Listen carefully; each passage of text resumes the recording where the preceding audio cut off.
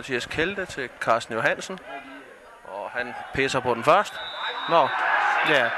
Og frispark. Sådan er det, når den tykke ikke kan følge med, så må han jo falde.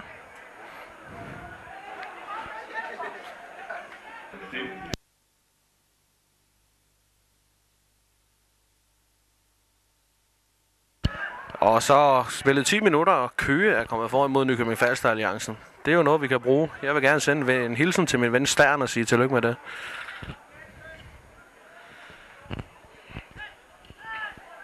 Henrik Madsen, nej. Han var blind, den dommer. Kolding vælger at spille videre, selvom ligger næste spiller skadet. Det er jo flot af dem jo. Men øh, ja, de får et hjørne ud af det.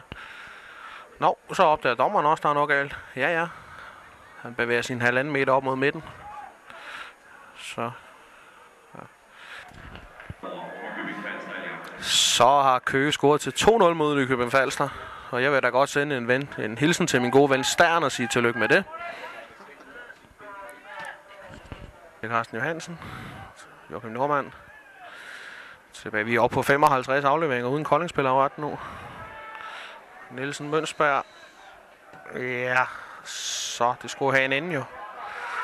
Kom vi aldrig videre. Nå. Kan høre, at Johnny Mølby skal ud dernede. Han var halvt så god til fodbold som Jan Mølby, og han var også halvt så stor. Nej, nej, nej, nej, nej, for satan. Hold kæft, Carsten Jensen. Ikke du får et gule kort.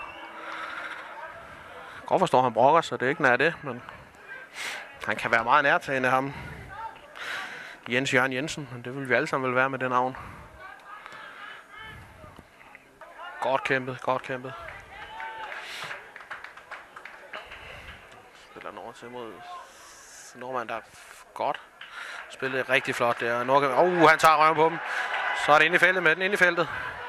Ej, for satan. Godt. Det er Henrik Smedegaard der op til nummer 20 Jesper Jørgensen. Han har tidligere spillet i OB. Nummer 19, Thomas Rate. Den er fra Silkeborg, er det ikke? Har han ikke spillet Silkeborg? Midtjylland. Nå, Midtjylland. Ja, ja, det er vel mit univers det samme, men det skal man nok ikke sige, hvis man kommer på de kanter. Normand.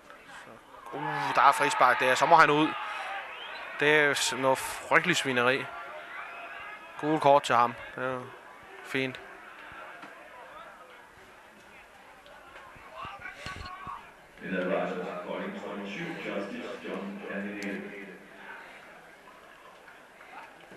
Justice John er øh, det måske ikke sådan det udtales, men det beklager jeg. Hvad? Er, er hernede, okay. Ja, ja, sådan er det. Så.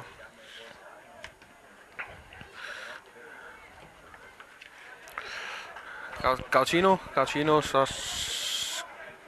Kom nu for... Drej for helvede! Og Michael Knudsen, frispark, han har et gult kort i forvejen. Det kunne være, at vi skulle have leveret et til, så vi kunne få lidt mere plads på banen. Så. Kim Poulsen mener, at Kjelde skal overholde aftalerne, og han kommer så over for at sparke det frispark der. Eller stiller sig i hvert fald klar. Er han nede? han står i, i muren derinde. Gautino står klar, Kjelde. Gautino, han lægger den ind i feltet, men den bliver desværre hættet væk. Det kan I læse alt om i morgen i Sjællandske.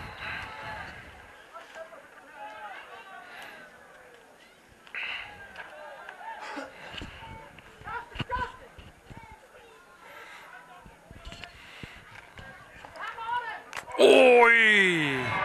Så, så er det slut. Der må være, han har kort, no, no, gule kort, dommer. Det kan ikke være rigtigt. Han skal være glad for, at jeg kun har det ene par sko, den dommer. Det kan jeg godt afsløre. Oh, skandaløst. Gautino Carsten Johansen står klar. Kælte, han overholder aftalen den gang. Gautino... Øj! Det var skandaløst. Der var gule kort der.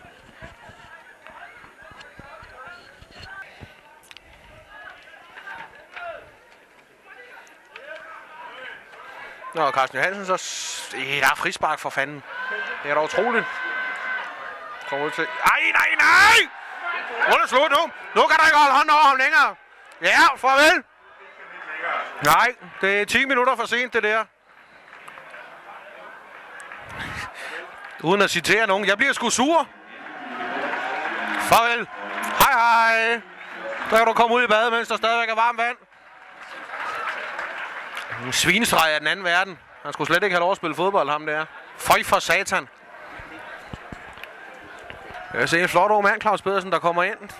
Det betyder flere penge i lønposen, fordi han, jo mere han taber, så jo flere penge får han. Det kunne være mis- motivation for sådan nogen som mig. Og alle os andre småfede. Så det er Carsten Johan nu. Gul kort. Nej, heller ikke. Så. Gauchino.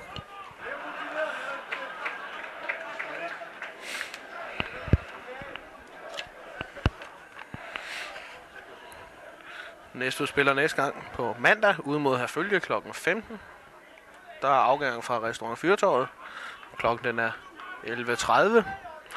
De Fyrtåret er vært ved lidt mad, så kan vi selv købe spiritusen. Det er masser der til den slags. Normalt drikker jeg cola, men det er jo trods alt helligdag. Og når de kan få serveret alkohol i kirken, kan vi vel også få det på værtshuset. Så vi snupper en lille øl, må vi se.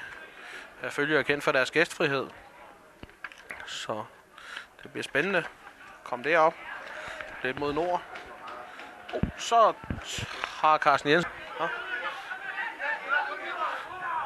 Oh, hvad er det? Hvad er det, vi kan... Hvad sker der der? Det er da Hubit Christian. Vi har fanget... Det er Hubit Christian. Jeg tror, han var taget afsted til... Det er Hubit Christian, der går der. Mine damer og herrer, Hubit Christian. Og oh, vi er tilbage til kampen. Mønsberg. Mønsberg, han tager... Nogle... Ja, det er måske lige øh, overkanten at kalde det flot, men han tog der nogle træk i hvert fald.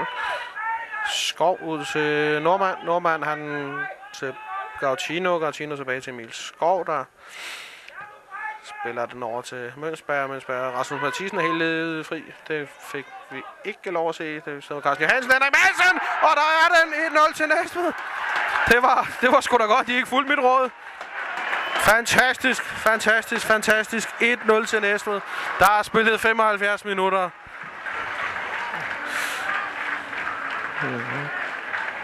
Fem Gautino, Carsten Johansen til Gautino. Ej, der er straffe! Ja, der har fløjtet. Rigtigt fløjtet. Det er jo tydeligt, altså.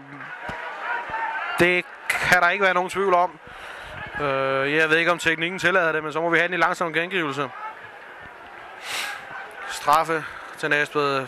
Det ser ud som om, han selv får lov at tage, eller er det Carsten Johansen? Bare nu ikke de bliver uvenner over det.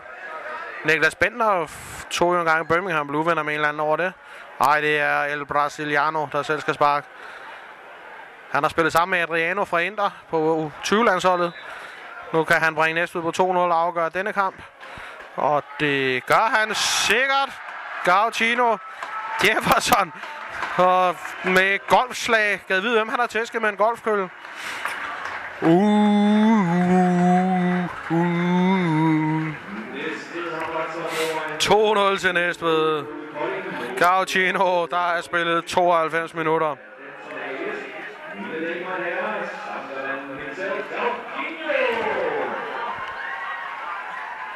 Så skal vi lige have smidt øllet her i skraldespanden.